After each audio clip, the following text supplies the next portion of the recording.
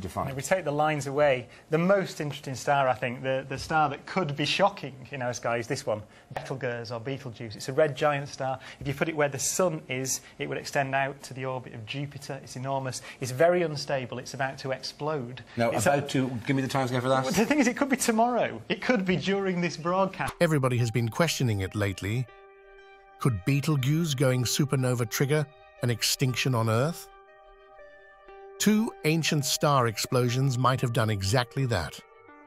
If you follow space and astronomy news, one name keeps popping up again and again Betelgeuse.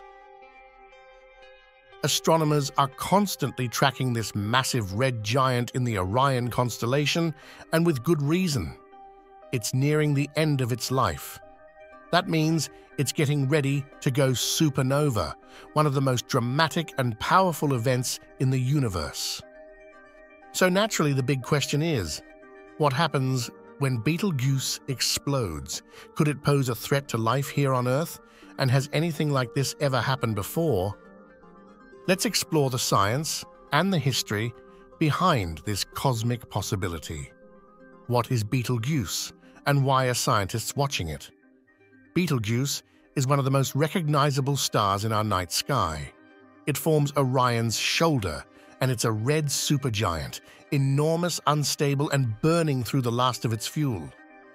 Because it's in the final phase of its stellar life, it's expected to explode into a supernova at any moment. Well, any moment in cosmic time, which could mean tomorrow or in the next 100,000 years. But whenever it happens, Betelgeuse's death will be a spectacular event. The explosion will light up our sky, possibly even visible during the day. But will it be dangerous? Can a supernova destroy life on Earth? To answer that, we need to understand what a supernova actually does. When a massive star collapses, it creates an enormous explosion that blasts radiation, neutrinos, and stellar debris across the galaxy. These explosions seed the cosmos with heavy elements like iron, uranium, and gold, the very stuff that planets and even our bodies are made of. But there's a darker side to these cosmic fireworks. If a supernova occurs too close to Earth, within around 65 light years, it could send out a wave of high-energy radiation capable of stripping away our ozone layer. No ozone means Earth would be vulnerable to the sun's harsh ultraviolet rays. That could trigger massive extinctions, collapse food chains, and even cause acid rain that lingers for years. Have supernovae caused mass extinctions in the past? According to a recent study led by Alexis Quintana at Keele University, there's good reason to believe they have. Quintana's team surveyed thousands of nearby stars within about 3,260 light years and estimated how often supernovae occur close enough to Earth to pose a real danger. Their conclusion roughly 2.5 dangerous supernovae happen near Earth every billion years, and that timing lines up eerily well with two major extinction events the Devonian extinction around 372 million years ago, and the Ordovician extinction around 445 million years ago. Both of these mass die-offs show signs of ozone depletion, but until recently, no one could explain why it happened.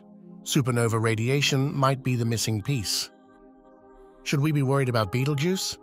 Thankfully, probably not.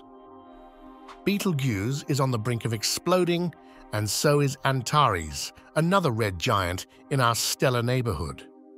But both stars are more than 500 light-years away, a safe distance when it comes to radiation fallout. That means when Betelgeuse finally does explode, it won't be a disaster. It'll be a celestial light show, not an extinction event. So, despite the drama, Earth is in no danger from Betelgeuse. Could supernovae actually be good for life? Here's a fascinating twist. We may owe our very existence to a supernova. Astronomers believe that a nearby supernova billions of years ago may have helped trigger the formation of the Sun and the planets that orbit it, including Earth.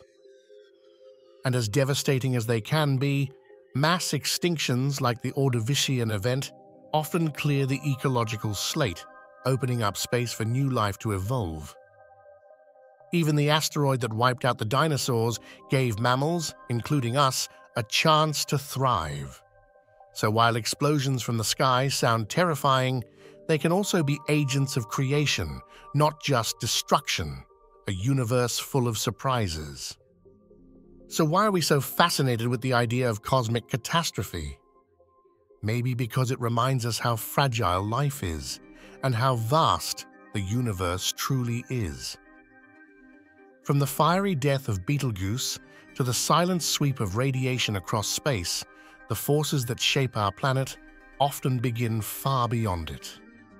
To understand our past and secure our future, we have to keep watching the stars, because whether they bring extinction or creation, they always bring change.